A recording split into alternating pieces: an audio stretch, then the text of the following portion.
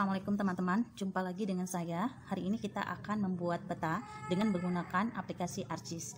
Nah, ini sangat mudah teman-teman. Jadi, saya pastikan teman-teman semua bisa mengikutinya dengan baik. Nah, yang pertama yang kita lakukan adalah kita ya buka aplikasi Archis. Nah, kita pilih Unmap. Di sini saya menggunakan yang tipe 10.6. Ini aplikasinya sedang login kita tunggu sampai benar-benar terbuka dengan sempurna